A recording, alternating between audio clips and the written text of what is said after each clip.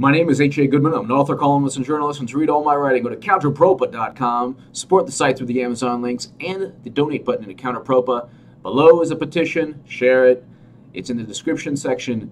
And it is to get the DNC to give their computer servers to the FBI. The FBI requested the computer servers for examination. The DNC has yet to give them those computer servers. Nobody in the U.S. government has, has seen the DNC computer servers that have been allegedly hacked by Russia. Hillary Clinton allies ripped James Comey for belated confirmation on Russia probe. See, you can never, it, it's like that old phrase, no good deed goes unpunished, at least for, for Clinton and Democrats. Once These are the same people who cheated Bernie. So when people say, well, AJ, why you, no, no, no. I don't know. They cheated Bernie Sanders. Now they have to live with this.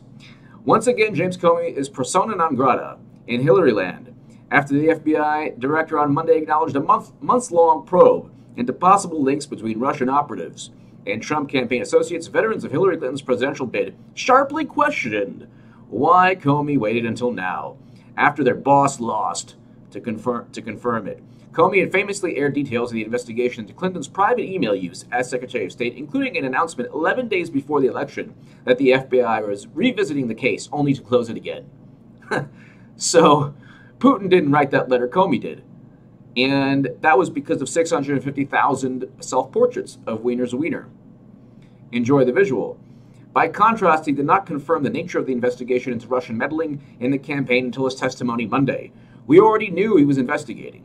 We know because a New York Times article investigating uh, Donald Trump, the FBI finds no clear link, uh, no clear, no direct link to Russia. That's a New York Times article, October, late October 2016. Quote, Russia probe that Comey confirmed was, as best we can tell, in effect before November 8th. Fair to ask why he didn't think voters deserve to know, tweeted Brian Fallon. We already knew. Dumb Brian Fallon, we already knew. The we already knew.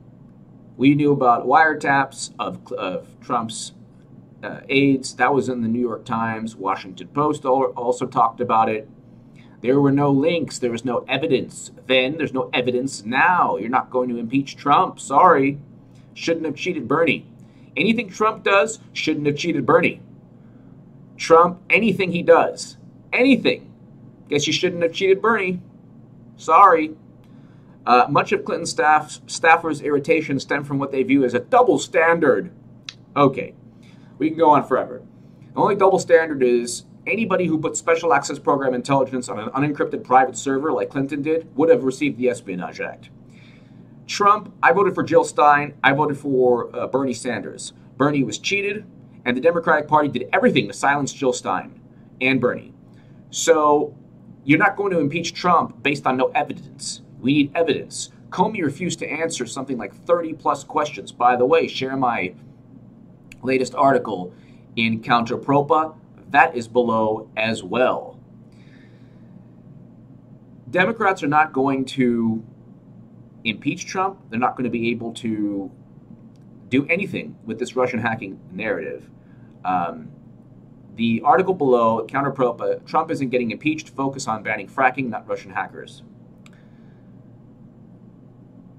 The Democratic Party doesn't stand for bold ideas banning fracking, breaking up too big to fail banks, reinstating Glass Steagall, ending perpetual counterinsurgency wars. These are the antithesis of Trump. People don't want Trump light. If you're going to get GOP light, just vote for the Republican. That's what I've been trying to tell people for two years. Nobody listened. Now you have Trump. Don't complain. Give me your thoughts below. Hillary Clinton's in the news again, and don't come at don't come at me for saying, "Well, if you just didn't talk about her, no, nobody else would." No, no, it's an article right here. Give me your thoughts below. Thank you so much for listening.